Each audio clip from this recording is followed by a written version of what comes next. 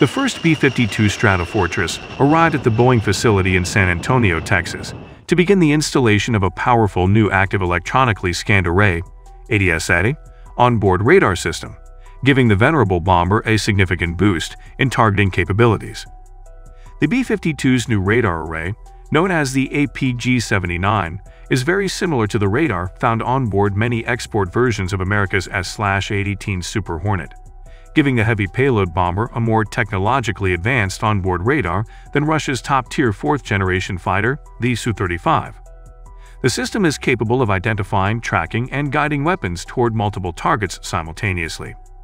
The array is also capable of synthetic aperture mapping, SAR, or producing three-dimensional reconstructions of landscapes, terrain, and even targets. In fact, this powerful new radar array is so good that it even outclasses the arrays in some of Russia's most heralded fighters. All Russia's most advanced Su-57s, of which there are only a dozen or so production models, may come equipped with a more modern AESA radar, but Russia's current top-tier frontline fighter, the Sukhoi Su-35, is still flying with a much older radar design in its hybrid passive electronically scanned array radar, known as the Irbis, which is physically turned via a hydraulic drive unit. This system, all dated, is nonetheless quite powerful, even if not as capable as many often claim.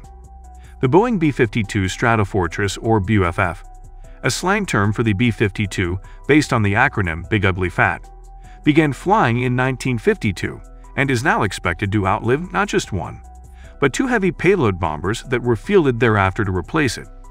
Now, as both the supersonic B-1B Lancer and the stealth B-2 Spirit fly toward retirement the B-52 is receiving a technological facelift, meant to keep it relevant for decades to come. The future of America's bomber force is now expected to be comprised of fleets of modernized Stratofortresses and Northrop Grumman's advanced new B-21 Raider, which is expected to enter service in the early 2030s.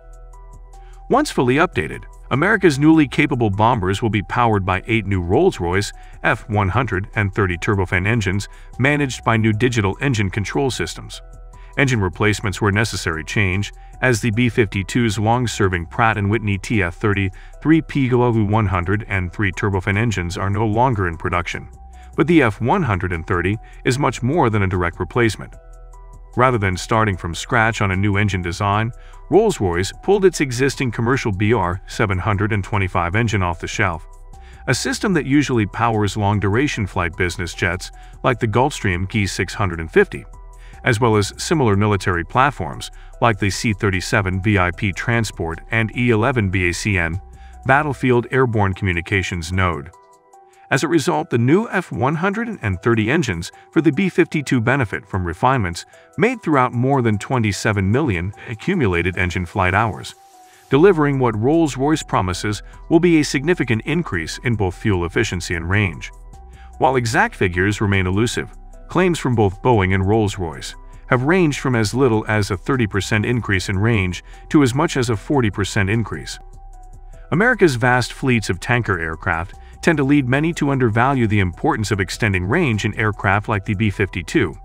But improved range not only benefits overall operating costs, but dramatically reduces the cost and infrastructure strain associated with organizing tanker flights around bombing operations. Boeing but while these powerful new engines will keep the B-52 flying for a projected 30 more years, its powerful new onboard radar and accompanying avionics suite will ensure it is just as deadly for just as long. Despite the myriad updates and improvements made to the B-52 over the years, today's BUFFs are still equipped with the 1960s era and slash APQ 166 mechanically scanned array radar, though it did see some upgrading in the 1990s. The system's age and technological limitations notwithstanding, simply maintaining them is becoming an increasingly difficult endeavor, due to them no longer being in production. As such, the Air Force is chosen to swap the dated radar out for a vastly more modern and powerful system that will not only improve upon the N-APQ 166's traditional duties, but will offer a number of new capabilities to boot. The B-52's new radar array the N-AP-79 Bomber Modernized Radar System is an active electronically scanned array radar set, that is, more or less, the same radar array found in many F-A-18 Super Hornets and EA-18G Growlers, just turned upside down to focus the breadth of its capability toward the ground, rather than the sky. Unlike its previously mechanically scanned array radar, which has to be physically steered while in use, actively electronically scanned arrays have no moving parts. Instead, AESA radars use a number of different solid-state transmit and receive modules, which dramatically reduces the chances of failure along with the maintenance requirements associated with the system. These separate solid-state transmit and receive modules allow the aircraft to project multiple radar beams in different directions simultaneously without any part of the array having to actually move. And because of these various modules, AESA radars are extremely jam-resistant, as they can leverage a breadth of frequencies simultaneously.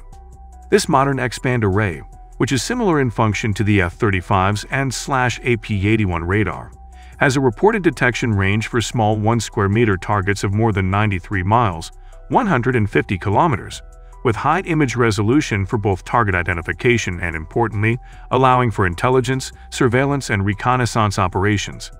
If you enjoy content like this, please like and subscribe this video as I appreciate all your support.